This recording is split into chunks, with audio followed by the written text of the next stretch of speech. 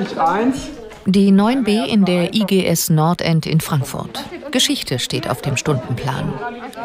Hier ist alles ein klein wenig anders, denn hier lernen Lernschwache, aber auch geistig Behinderte gemeinsam mit den anderen Schülern.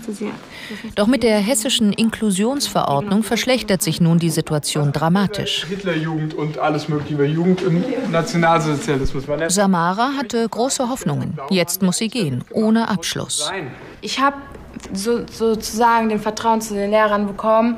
Ich weiß, dass die halt hinter mir stehen und dass sie mich fördern und unterstützen und so weit wie möglich halt mit mir den Hauptschulabschluss halt zu machen. Und das ist auch mein Ziel hier an der Schule gewesen.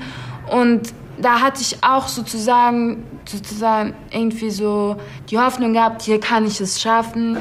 Lehrer werden von der Schule abgezogen, Förderstunden gestrichen und die Klassen noch einmal größer. Die Zeit, behinderte Kinder zu fördern, wird knapper bemessen. Du bereitest jetzt das für die anderen vor. In diesem Buch erzählt Eugen Hermann was er als jüdischer Junge... Vor dem Hintergrund von einem, im Endeffekt von einem Spardiktat, von der Sparpolitik, wird eigentlich eine großartige Idee kaputt gemacht.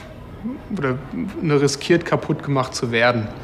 Ich denke, dass es ein großes, ähm, großes Problem ist, dass man eine Reform, die so weitreichend ist oder eine Vision, die so weitreichend ist für die Inklusion, nicht ähm, unter einem permanenten Ressourcenvorbehalt durchführen kann. Einer aktuellen Bertelsmann-Studie zufolge müssten 10.000 Lehrer bundesweit neu eingestellt werden. 380 wären es in Hessen. Kein Problem, meinen Bildungsforscher. Ja, Inklusion können wir uns leisten. Wir verlagern klugerweise die bisherigen Mittel, die wir in das Förderschulsystem investiert haben, in die allgemeine Schule. Wir müssen natürlich zusätzlich zum Beispiel Lehrer qualifizieren, damit sie mit so einer Unterschiedlichkeit auch besser umgehen können.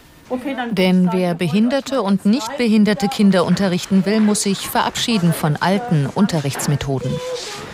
Wie das geht, das sieht man hier in der Berliner Heinrich-Zille Grundschule. Die Klasse ist kunterbunt zusammengesetzt. Die Kinder sind zwischen sechs und neun Jahre alt. Darunter sind geistig behinderte Kinder, lernschwache Schüler, Sprachbehinderte, aber auch Kinder, die aufgrund ihres Migrationshintergrunds Schwierigkeiten haben. Die Bienenwerkstatt steht auf dem Programm. Jedes Kind macht etwas anderes, hat seinen persönlichen Lernplan.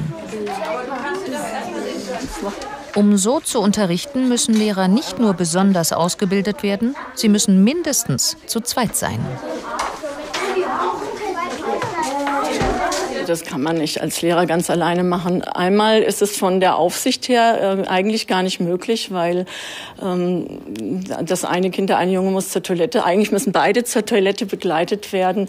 Sie brauchen Aufsicht irgendwie äh, auf der Treppe im Flur und in, im Klassenraum können sie nicht alleine arbeiten. Also äh, das geht vielleicht eine kurze Zeit lang, wenn man das trainiert. Es geht mit Partnerkindern, aber eben die muss man ja auch anleiten und das kann eine Lehrperson nicht alleine machen machen. An dieser Frage scheiterte in Berlin im letzten Jahr das erste Inklusionskonzept. Schulen und Eltern protestierten, forderten für die Inklusion zusätzliche Mittel, mehr Personal, eine bessere Ausstattung. Die Schulen müssten auch behindertengerecht umgebaut werden.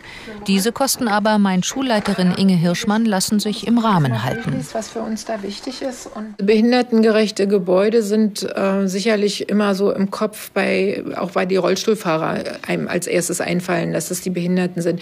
Ich glaube, das ist gar nicht der große Anteil und ich glaube auch nicht, dass man 100 Prozent der Schulen umbauen muss. Ich war eigentlich durchaus zufrieden mit dem Konzept, hier Schwerpunktschulen zu äh, gründen.